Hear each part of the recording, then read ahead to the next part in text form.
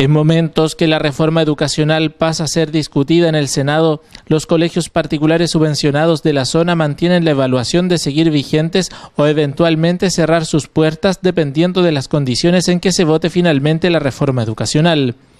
En ese sentido, Carlos Huerta, sostenedor del Colegio Alonso de Ercilla, evaluó las recientes actividades efectuadas a la luz de la convocatoria hecha por la Confederación de Padres y Apoderados Confepa la preocupación de qué va a pasar con los colegios particulares subvencionados no es una preocupación local, no es una preocupación solo de Melipilla. Nos pudimos dar cuenta de que la preocupación es una preocupación masiva a nivel nacional. ¿Por qué? Porque esta fue una caminata o marcha, como, como quiera llamarse, que se hizo un día sábado.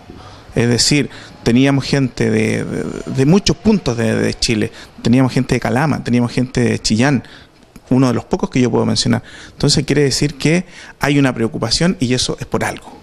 ¿Se logró el objetivo en esta marcha, en esta caminata en este caso? ¿Caminata familiar? Yo creo que el objetivo que teníamos como Melipilla era hacer, hacer ver nuestra preocupación por los posibles cierres de algunos colegios. Y quiero dejar claro que es un, un posible cierre ante una eventual reforma tal cual como está. Y también quiero dejar claro que el, espíritu de todos los colegios de Milvilla no es cerrar.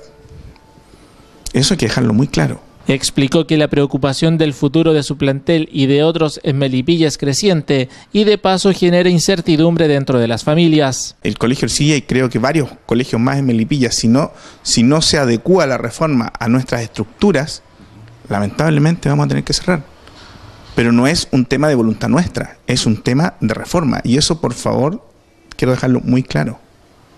Luego de la, de la caminata familiar de este fin de semana, al parecer se están viendo que se están abriendo algunas ventanas. No se, se cerraron algunas puertas, pero se están abriendo ventanas. Mm, la verdad no, no sé, no sé.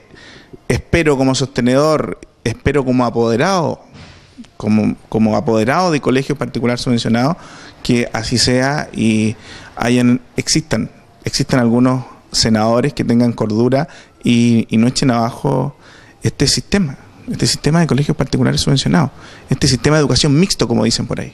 Explicó que la idea no es cerrar él o los planteles, pero aquello dependerá finalmente de cómo salga la reforma desde el Congreso Nacional. Cualquier decisión que tomemos como Colegio Alonso Ercilla, sin duda va a ser una decisión que va a estar de la mano con la nueva reforma.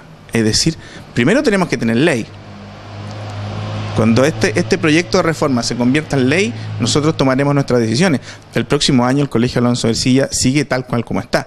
El año subsiguiente el Colegio Alonso de Silla sigue tal cual como está. O sea, no, solo, el Colegio Alonso de Silla, o sea, todos los, los colegios a nivel de Chile no pueden tomar decisiones a raíz de la reforma si todavía no existe.